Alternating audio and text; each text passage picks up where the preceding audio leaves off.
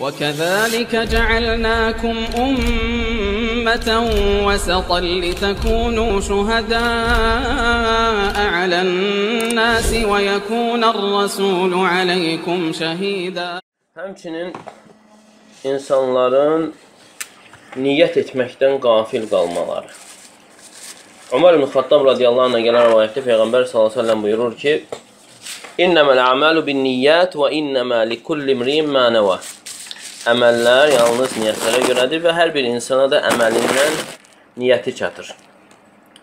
Və bəzən insanlar hər hansı bir vacib əməli yerinə yetirərkən niyyəti unudurlar.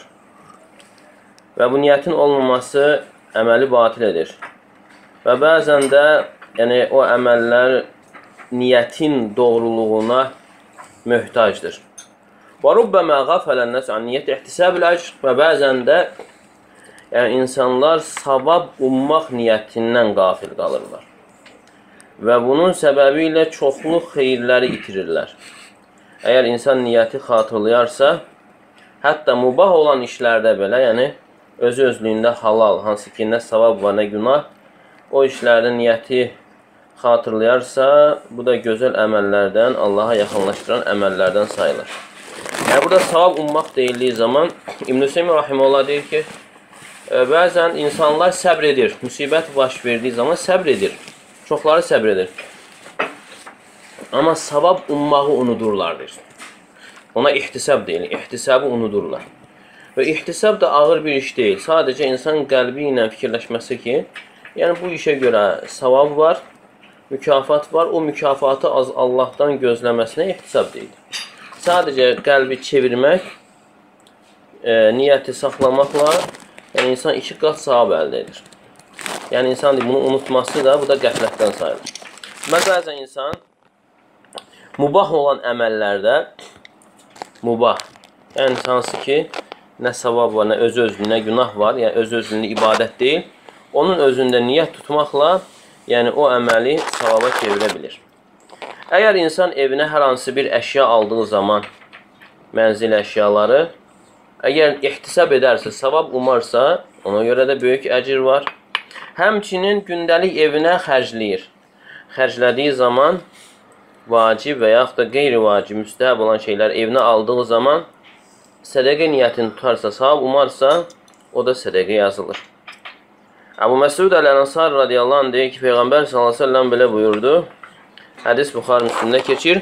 İzə ənfəqəl muslimu nəfəqətən alə əhlihi və huvə yəhtəsibuhə kənət ləhu sadaqa. Yəni, bir müsəlman ailəsinə bir şey xərclədiyi zaman, onun savabını Allahdan umarsa, onun üçün sədəqə olar.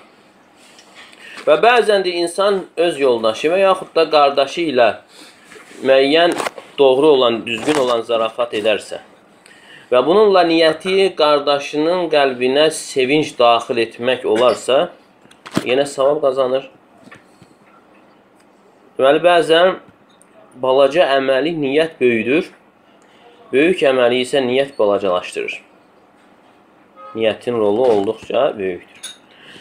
Necə ki, Mübarək Rahimullah buyurur.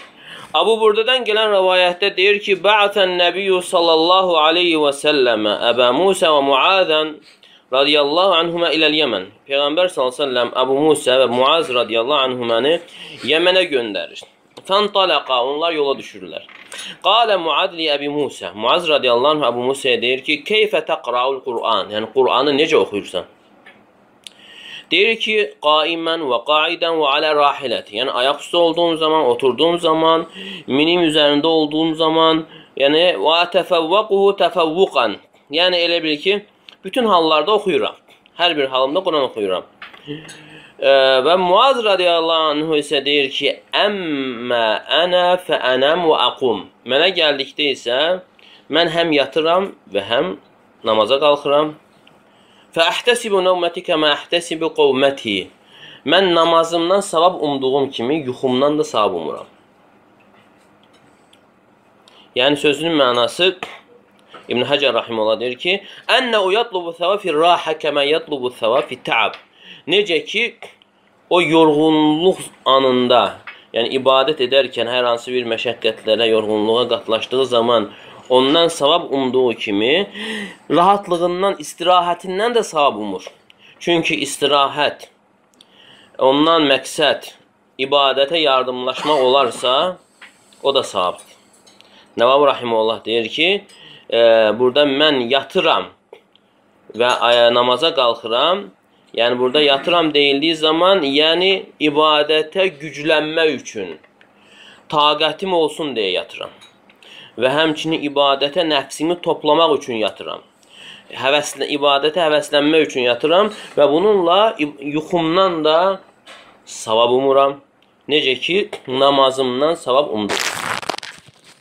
İbn Qayyim rahimehullah əsas dərdi Allah və axirət diyarı olan insanların halını hekayət edərək deyir. Deyir, onlar hər hansı bir işdə Allah rizasını taparaq Allahın rizasına yönəlirlər.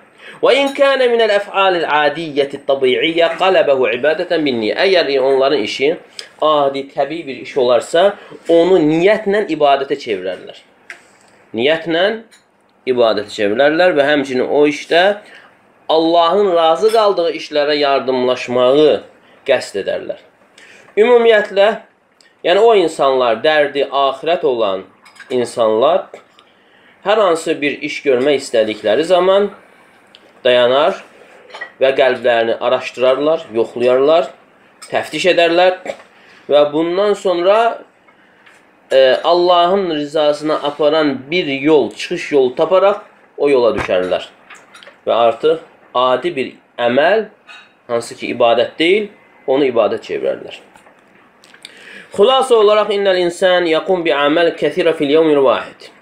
Yəni insan bir gün ərzində çoxlu işlər görür. İşinə gedir, yeyir, içir, yatır, zarafat edir, danışır, satır, alır, icarəyə verir. Bütün bu işlərin hər birində onun fikrinə gəlmir ki, niyyət tutsun. Yəni kimin? Yəni qəflət əhlinin niyyətinə, yəni fikrinə gəlmir salih niyyət tutmaq. Amma ibadət əhli isə onlar hər bir əməldə dayanar, qəlblərini yoxlayaraq salih əməli araşdırarlar və bununla əməllərini düzəldərlər və adi bir əməli ibadətə çevirərlər.